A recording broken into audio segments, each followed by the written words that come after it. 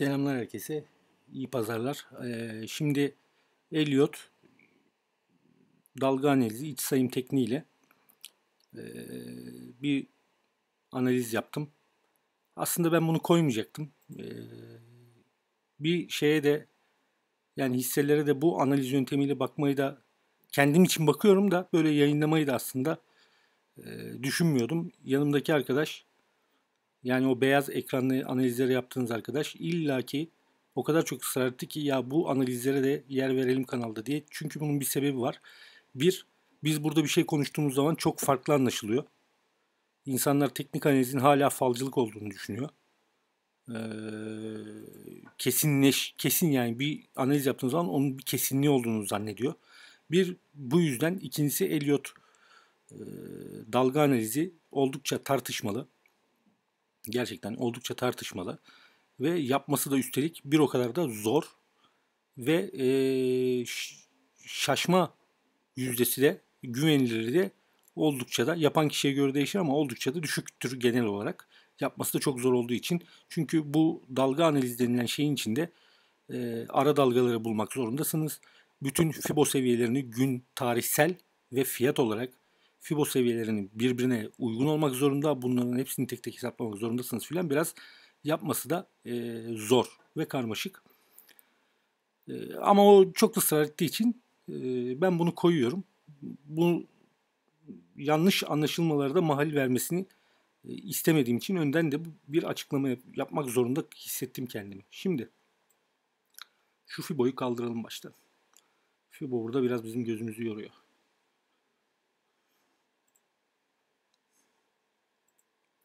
Arkadaşlar ben bu Elliot dalga analizini üçüncü, ikinci dalganın bitiminden itibaren yapmış idim. Ama benim 3 numaram yani üçüncü tepem burası değildi. Sadece o zaman bir 3 koydum bıraktım. Ve 5'in de aslında yerinin ben aşağı yukarı 1280'ler civarında 5. dalganın buralara kadar gelebileceğini de düşünüyordum. Ama öyle olmadı. 5. dalga biraz kısa kaldı boy olarak. Üçüncü dalganın yeri de aşağı yukarı 1000 hani eski şeyle söyleyeyim 112 bin seviyelerinde pardon 116 bin seviyelerinde filandı. Ama bu böyle gerçekleşmedi. Daha farklı gerçekleşti. Biraz daha kısa sürdü 5. dalga. Dolayısıyla 5 dalgayı tamamladık. Şimdi dönüş düzeltme dalgasına başladık. Şimdi arkadaşlar Elliot dalga analizine göre aslında beklediğim benim beklediğim düzeltme dalgası 900 yani düzeltme dalgasının A noktası 940 puanlarda filan idi. Yani şuralarda filan olması gerekiyordu A'nın. işaretleyeyim. Biraz da böyle yayvan yayvan yapacağım bu analizi. Artık yani ilginizi çekerse izlemeye devam edersiniz dediğim. Şurası benim tahmin ettiğim A noktasıydı. Yani 940 puan civarı. Fakat cuma akşamı e, gelen alımlarla A noktası biraz daha yukarı konuşlanmış oldu. Yani 985 puan civarı. Gene tam puana bakmayayım. Bakayım şuradan hadi. E, bakayım. Evet 985 puanda A noktası oluşmuş oldu. Şimdi A noktasının önemi nedir? A noktası ne kadar aşağıda oluşursa bakın ne kadar aşağıda oluşursa B noktasının ve C noktası da aynı şekilde çok aşağılara doğru gidebilir. Benim yaptığım ilk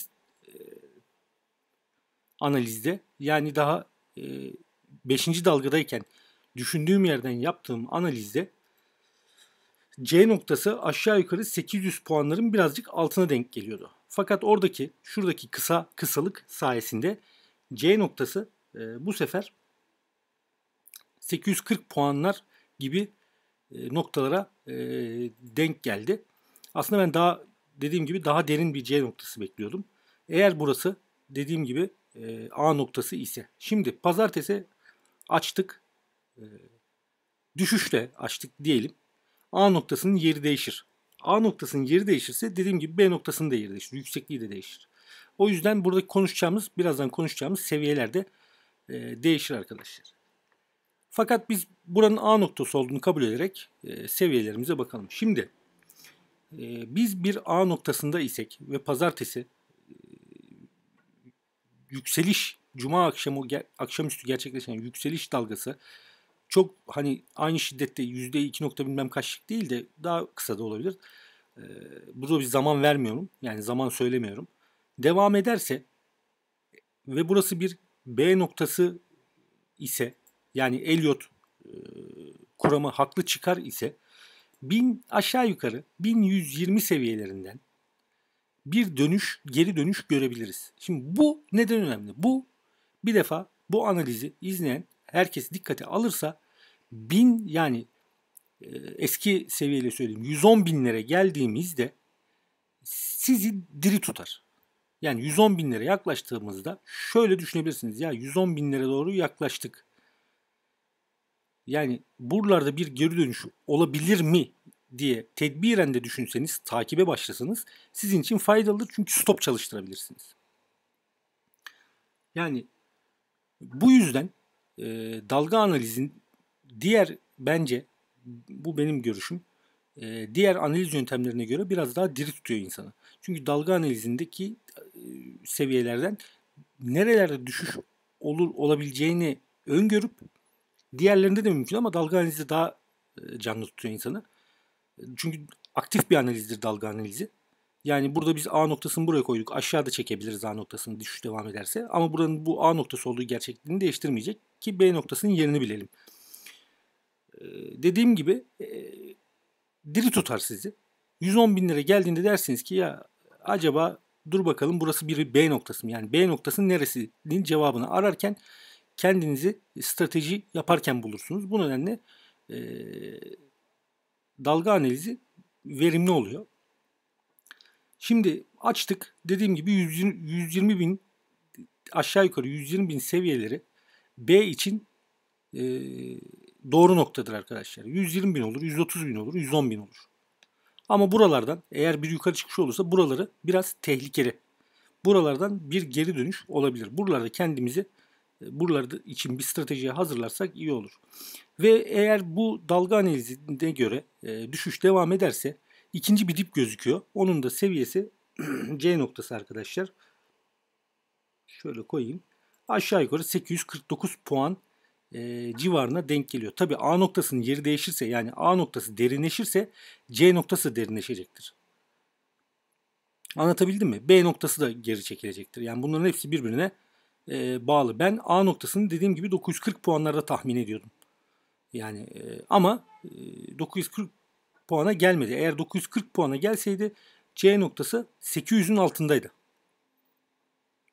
Daha karanlık bir tablo çıkıyordu o zaman. Bu düşüş tablosu daha e, karanlık bir hal alıyordu. Bu yüzden A noktası umarım burasıdır. E, C noktasından sonra e, biz tekrar 5 dalgalık bir yükselişe başlayabiliriz ki bir ikili dip yapmış olacağız. Bakın iki tane C noktası bir ikili ikili dip oluşturmuş olacak. Ve kuvvetle muhtemelde e, bu dipten yani ikinci C'den çıkışımız e, diğer tepe olan 100 şey 1243 44 müydü bu tepe eski şey? Ya eski der, yeni derken kafamız da karışıyor. 124.500 lük eski seviyeye aşabileceği aşabilmek için daha güçlü bir akım olabilir yani C'den çıkışta. Olması da gerekiyor. Çünkü bu sefer de ikili dibi katlamamız lazım bir şekilde. Katlayacağı yer yani katlama çıkışından nerede yapacağı önemli. Zamansallık bakımından da e, ilerideki e, seviyeyi etkiler çünkü 3-5 puan 10 puan olsa da yani bir sonraki dalganın da kuvvetle muhtemel çok kötü şeyler olmaz ise e, C'den çıkışta 1300'lere doğru e, yol alabiliriz. Şimdi bir öncekine bakalım. Bakın bu Mayıs ayı. Görüyorsunuz 5. ve son dalgadan sonra düzeltme başladı. Ben bunun tahlilini yaptım arkadaşlar. A seviyesi ile B seviyesi ve C seviyesi o kadar tutarlı ki yani bunların matematiğini yaptığınız zaman Fibo sayılarıyla e, C'yi bulabiliyorsunuz. Yani bizim endeksimiz bu borsadan borsaya göre de değişir zaten. E, bu Elliot e, dalga analizine birazcık yatkın. Burada bizim seviyelerimiz aşağı yukarı tutuyor. Ve buradaki ABC'yi de Elliot bilenler aynı şeyi yapabilirler. Aynı hesaplamaları yapabilirler. Bu ABC'yi de hesapladığınız zaman yani A B, e, 0 yani 5 noktası A e, noktasını hesapladığınız zaman ilgili hesaplamalarla C noktasına zaten ulaşıyorsunuz arkadaşlar. Hiç buraya bakmanıza bile gerek yok. Gene e, demek ki buradaki ABC formasyonunda geçmişe bakarsak, geçmişi refere edersek e, olması muhtemel bir formasyon. Buraya dikkat çekmek istiyorum. E, dediğim gibi burada da bir ikili dip görmüş oluruz. E, ikili dipten sonraki e, endeks yürüyüşü de 1320'lere doğru yol alabilir. Burada bir ikili dip yoktu. Şimdi diyeceksiniz ki madem C'nin boyu böyle burada niye böyle değil? Çünkü burada bir ikili dip yoktu arkadaşlar. Burada bir çanak vardı. Ee, burada çanak katlama noktası zaten 124.500'dü. Pardon çanağın tamamlanma noktası. Endeksimiz çanağı tamamlayamadı. Ama ikinci dipten sonra katlama noktası 1320 e, çıkıyor. Ama buradayken ben 5. dalgayı nereye koyacağımı bilemedim. Burada da bir ikili dip olsaydı 5. dalgayı nereye koyacağımı aşağı yukarı bilirdim. Ee, burada e, benim sorunum oldu. Buradaki Elliot'ta analizini yaparken. Ama burada öyle bir sorunum yok. 5. dalga kendini zaten derinlik hesabıyla yola çıkarsak gösteriyor. Ee, bunu da söylemek isterim. Şimdi zaten şeye baktığımız zaman da Fibo Fibo demişim özür dilerim. Ee, MACD'ye e, baktığımız zaman da MACD zaten e, gördüğünüz gibi kesmiş ve sat sinyalini vermiş ve ben gidiyorum diyor aşağılara doğru haberiniz e, olsun diyor. Bize önceden önceden MACD çünkü MACD kesmeyi burada yaptı. Gördüğünüz gibi As- esasında şurada yaptı ve burada bir e, negatif uyumsuzluk oldu. Bakın burası aşağı doğru giderken burası yukarı doğru gitti ve dedi ki kardeşim sen gül ama en son ben güleceğim bundan da haberin olsun dedi. Buradaki pozitif uyumsuzluğa da baktığımız zaman pardon negatif uyumsuzluğa da baktığımız zaman MACD zaten çok uzun süredir sat sat sat deyip dur, duruyordu. E, ve en sonunda bu satış sinyali de derinleşmeye başladı. Dolayısıyla bir dip arıyor iseniz yani şimdi hep bizi e, e, hissesi olanlar izlemiyordur herhalde ne bileyim. Yani merak eden de izliyordur belki. Bir dip arayışı var ise e, C noktasını yani B noktasının da oluşum tamamlandıktan sonra e, C noktasının dikkate alınması bence strateji yapmak bakımından e, önemli bir hal almış durumda. Ee, söylediğim gibi Elliot dalga analizi birazcık tartışmalıdır. Yapması da zordur. Tutarlılığı da çok da yüksek de e, değildir. Çünkü devamlı seviyeler değişir. Devamlı yeni hesaplamalar yapmak gerekir. Ve dinamik bir analizdir diğer analizlere göre. Yani A noktasının yeri değişti mi yine kağıdı kalemi hesap makinesine alırsınız. C noktasını tekrar hesaplarsınız. B noktasını tekrar hesaplarsınız. Bu böyledir yani Elliot dalga analizi. Ee, o yüzden de pek görmezsiniz. Pek de tercih edilmez. Ben e, kendim bunu daha önce hiç Elliot Dalga Analizi kanalda yayınlamamıştım. E, yani, diğer beyaz ekranda analizlerini izlediğiniz arkadaş görünce ısrar etti. İlla ki koy diye. E, farklı bir analiz olsun diye. O, o maksatla koyuyorum. E, onun ısrarı neticesinde koyuyorum. E, söyleyecek başka bir şeyim yok. E, tedbirli olmakta fayda var. B noktası endeksteki B noktası yani bunu şimdi birçok hissede var. Buna baktım ben. Birçok hisse endekse de çok uygun hareket etmiş bu dönemde. Ee, yani bütün hisselere tek tek bakmaya bile gerek yok. Endeksteki B noktasını gözetleyip oradan bile endeks bazlı stoplar çalıştırılabilir bana göre. Hatta bazı trader programlarında endeks bazlı stoplar da var. Yani endeks şu seviyeye düşer ise burada stop et diye bir emir verebiliyorsunuz kağıtlarınızdan bağımsız şekilde. Yani endeks buraya düşerse benim portföyüm sat kardeşimde diyebiliyorsunuz. Böyle emir emir verebileceğiniz traderlarda var. Sizin kullandıklarınızda var mı bilmiyorum da böyle böyleleri bile var yani. E, çünkü bazı traderlar gerçekten endeks bazlı stoplar çalıştırabiliyorlar. Endeks düştüğü zaman kağıdına kendi kağıdına değil de endekse göre stop yapabiliyorlar. Yine bu o bakımdan takip edilirse faydalı olabilir endeks bazlı hareket eden arkadaşlar için. Ki yanlış da değildir endeks bazlı hareket etmek. Hep söylüyorum. Daha önce de söylemiştim. Bizim en büyük hastalığımız hep kendi kağıtlarımıza bakmamız. Türk yatırımcılar ve traderlar olarak endekse bakmamamız. Halbuki endeks bazen endekse ters davranan kağıtlar için bile bir ipucudur. Ee, daha önceki benim başka bir analizimde bundan bahsetmiştim. Bunu takip edenler de bilirler. Önemlidir. Ee, bu konuda da e, böyle bir analizi size paylaştım. Ee, aklıma da gelen başka bir şey yok. Teşekkürler, iyi günler.